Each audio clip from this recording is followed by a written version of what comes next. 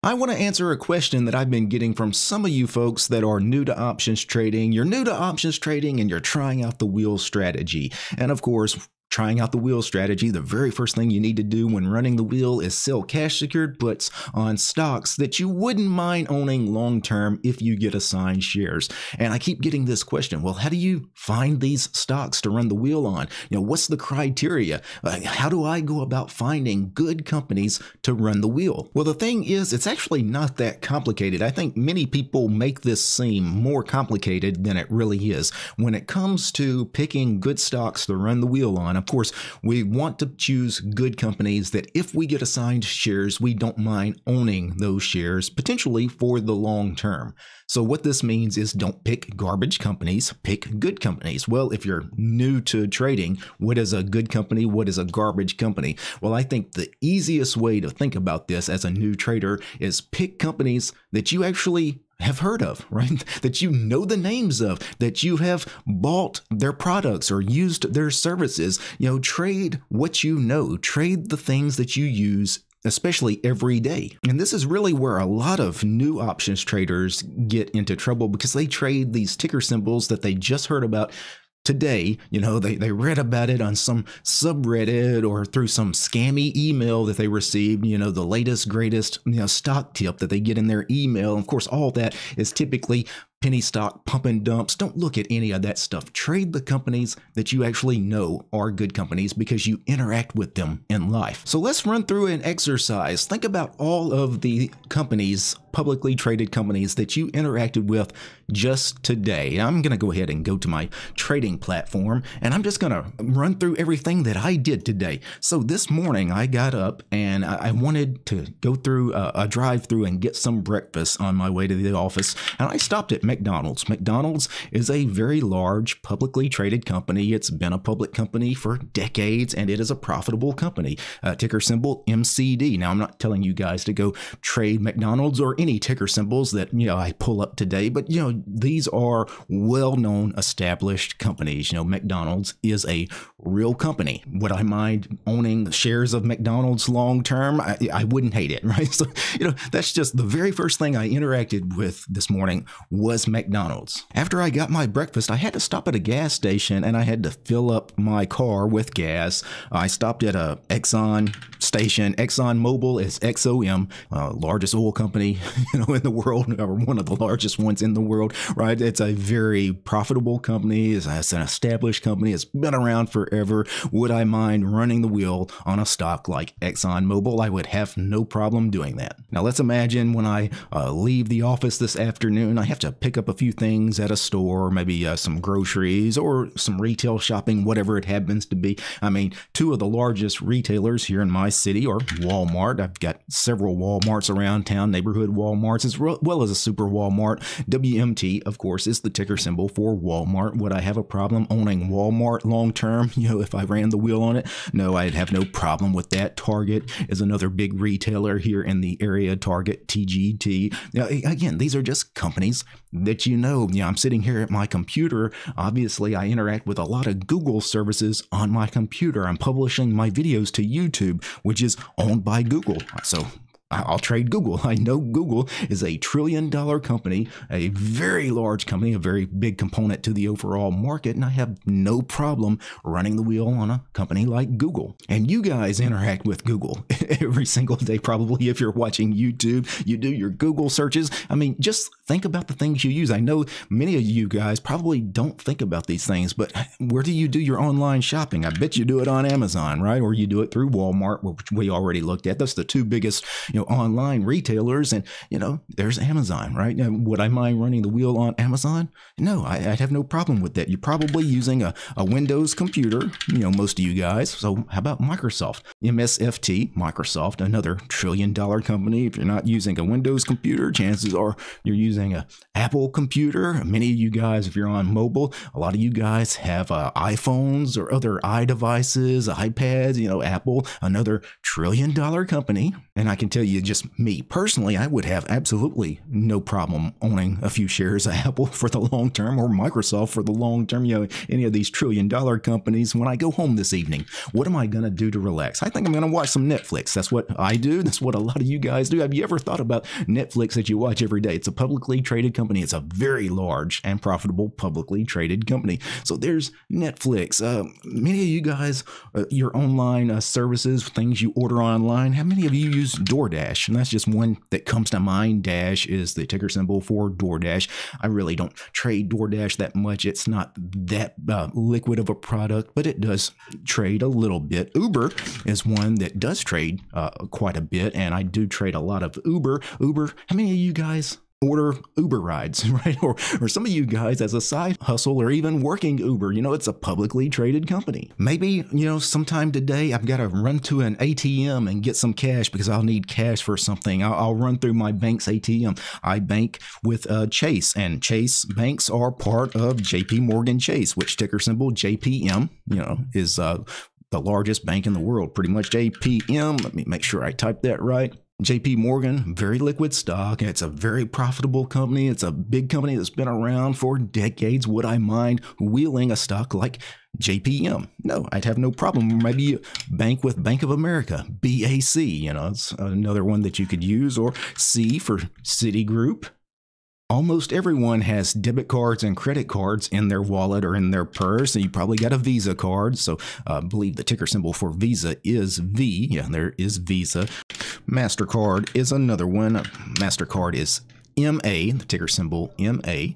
And, you know, again, these are just products you interact with every day in life. I could sit here and if I think long enough, I could come up with literally dozens of things that I've used today, if not in the last week or so. Uh, dozens of publicly traded companies, well known, very profitable, long track record of making money companies to run the wheel on. And it's very important that you choose these well known companies. A well known company is likely to have a long track record of being profitable. That's why they've been around so long. That's why everybody knows about them. It's because they've been around forever because they make money. So trade the well known companies. Those garbage companies, those lesser known companies, they're typically not the profitable companies. They typically don't trade a lot of shares either. They're typically not liquid products. And these garbage companies are the ones that typically fall hard. They're the ones that drop hard in price, you know, 20, 30, 40% sometimes in a day. And sometimes they fall, you know, they, they lose most of their value rather quickly and then never recover. Garbage companies do that all the time. Well known companies rarely make such a huge drop and when they do drop in price you know typically it's short lived they'll eventually recover because again they've been profitable for many years if not many decades so uh, they they have a much better chance of coming back to you and that's what you want when you run the wheel. Where i see a lot of traders get in trouble is they try to trade these companies that are not well known. Uh, maybe they naturally found out about this company through their own research but a lot of times uh, these people people, these traders I see, they they get stock tips from people online, you know, such as video influencers on YouTube or TikTok. They'll talk about these really weird companies, these strange ticker symbols that nobody's ever heard of, and they'll really pump it. They'll promote it, and they'll sucker in uh, a lot of especially new traders into also buying into the hype. So yeah, don't do all that, right? Trade what you know. Trade the well-known companies because I can give you many examples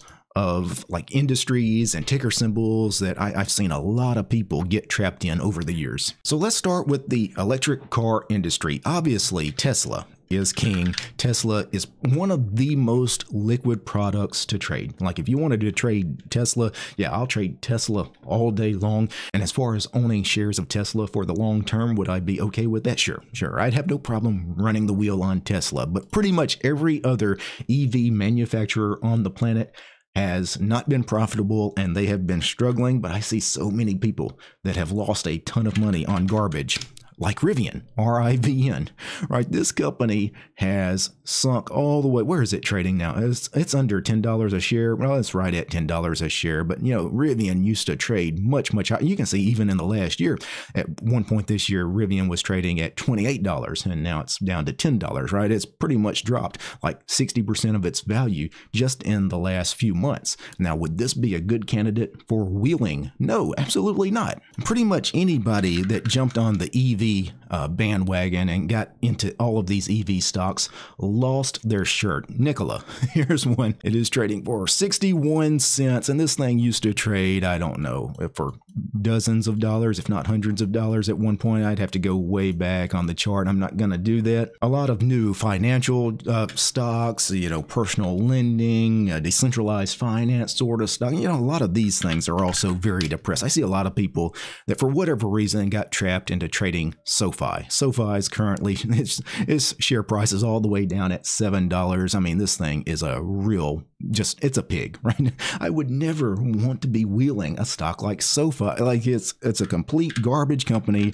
It's more likely to go bankrupt than to you know trade for twenty dollars in the next year, right? It's much more likely to go south than north. Same thing with something like Affirm. Where's Affirm trading? Actually, Affirm's chart doesn't look too bad. It's trading at thirty six dollars, but this thing used to trade for whoa, almost two hundred, and that's not even like two years ago. So there's an example too. Uh, remember the uh, cannabis craze when everybody was getting into all the marijuana stocks? Everyone traded Tilray if you guys were trading, you know, say three, four, five years ago, you guys remember everybody was on the Tilray bandwagon. Where is Tilray trading right now? It is trading at two dollars and three cents, and this thing used to trade, uh, you know, like 50 times higher than this, you know, well over $100. Another one that I remember people trading was, uh, was it SNDL?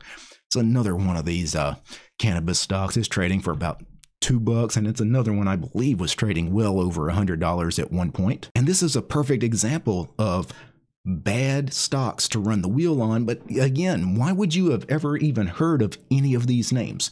I mean, I get they're publicly traded companies, and it's possible that you would have come by some of these names. Maybe you heard of things like SoFi and Affirm, but most people in life have never heard of those companies, even, right? And certainly not some of the weird stuff like Tilray, right? You, you should not be trading this kind of garbage, right? Trade the stuff you know. Trade those really big liquid companies that you see everybody else trading. There's a reason everybody is trading things like Amazon, Microsoft, Google, right? There's a reason you don't hear like the big players. There's a reason Warren Buffett is not stockpiling shares of Tilray right now. Now, one thing I do want to warn you is be careful about picking very well-known companies that are past their prime.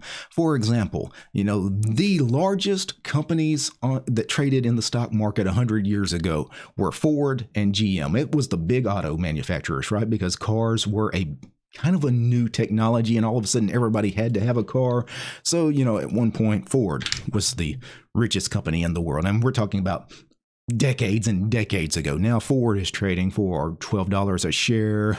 Only 18 million shares have traded today. Ford, you know, even though it's a well-known company, I would not necessarily want to be running the wheel on Ford. I would not want to be holding shares of Ford for the long term. Same thing with General Motors. GM was once the richest company in the world. Again, decades past, but now its stock price actually it's rebounded quite nicely here in the last year. It was trading all the way down at $26 a share, but now it's come back up to 45. But again, Ford and GM used to trade much, much, much higher than they're trading now. The same is true with things like the uh, phone companies. You know, AT&T, for example, is not something I would want to be holding for the long term.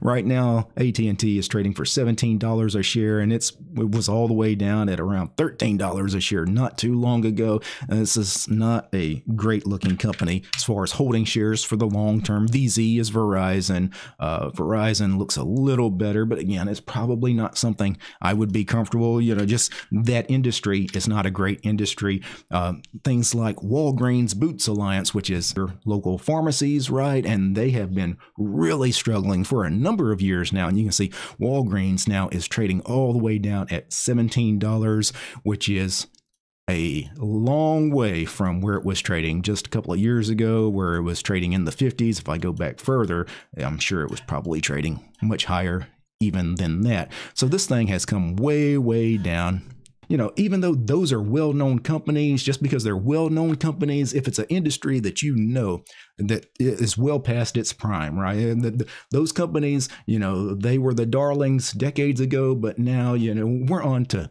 new technologies, you know. So now Ford and GM, they're in the past. Now Tesla, for example, is the future, right? EVs are the future. So just some tips on how to find stocks to run the wheel on, right? I think, you know, for most of you guys, like 95% of the time, if you just stick to well-known companies, companies that you interact with, that you deal with every day, those are the, the most liquid, most well-known companies. If you stick with that, you'll be all right. Now, having said all of that, just because you trade these well known liquid companies, does that mean that you're never going to lose? No, you might take an occasional loser. matter of fact, you will take an occasional loser. Now, is there's something wrong with your trading criteria if you you know pick a company and you lose on a trade no losers do happen but just know if you're trading a lot of well-known companies but you're getting a lot of losers then you might need to re-examine some things because you maybe the criteria that you're using to select your stocks is not quite where it needs to be or maybe just market conditions have changed. Obviously if the market is in a recession or a lengthy bear market